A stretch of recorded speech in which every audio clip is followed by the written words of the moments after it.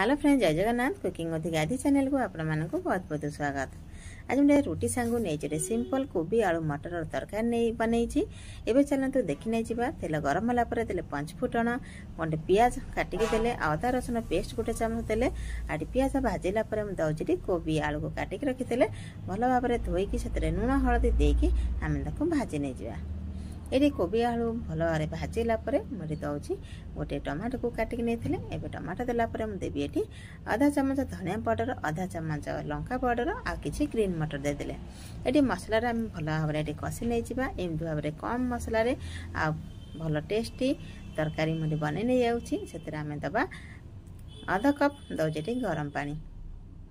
ଦେଖନ୍ତୁ ଏଠି ଦୁଇ ମିନିଟ୍ ପାଇଁ ମୁଁ ଏଠି କୁକର୍ ନେଇଯାଉଛି। ଏବେ ଦେଖନ୍ତୁ ଦୁଇ ମିନିଟ୍ ହେଲା ପରେ ମୁଁ କଭର ବାହାର କରିଦେଲି। ଏବେ ଆମର ତରକାରୀ ଆମର ରେଡ଼ି ହେଇଯାଇଛି। ଅଧା ଚାମଚ ଗରମ ମସଲା ଦେଇଦେଲେ ଆଉ କିଛି କସୁରୀ ମେଥି ଦେଇଦେଲେ। କସୁରୀ ମେଥି ଦେଲେ ବହୁତ ଭଲ ଟେଷ୍ଟ ଆସିବ ତରକାରୀର।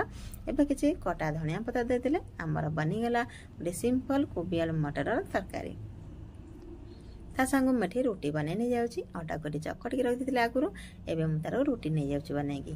ଯଦି ମୋ ଭିଡ଼ିଓଟି ଭଲ ଲାଗୁଥିବ ଗୋଟେ ଲାଇକ୍ କରିବେ ଆଉ ସାଙ୍ଗସାଥିମାନେ ସେୟାର କରିବେ ଗୋଟେ ସବସ୍କ୍ରାଇବ୍ କରିକି ସପୋର୍ଟ କରିବେ। ଦେଖନ୍ତୁ ଏଠି ମୁଁ ଏଠି ରୁଟି ବେଲି ନେଇଗଲି ଏବେ ଆମେ ସେକି ନେଇଯିବା ରୁଟି। ଦେଖନ୍ତୁ କେତେ ସୁନ୍ଦର ଭାବରେ ଆମର ରୁଟିଟା ଫୁଲିଗଲାଣି। ଏଇଭଳି ଭାବରେ ମୁଁ ରୁଟିକି ସବୁ ସେକି ନେଇଗଲି। ଏବେ ମୁଁ ନେଇଯାଉଛି ଲଞ୍ଚ କରି। ଏବେ ଆମେ କୋବି ଆଳୁ ତରକାରୀ ଆମେ ନେଇଗଲେ ଆଉ ତା ସାଙ୍ଗକୁ ନେଇଯାଇଛି ଏଠି ରୁଟି। ଦେଖନ୍ତୁ ମୁଁ ଏବେ ଚାଲି ଲଞ୍ଚ କରି ଫେର ଆସିବି ନୂଆ ଭିଡ଼ିଓ ସହିତ।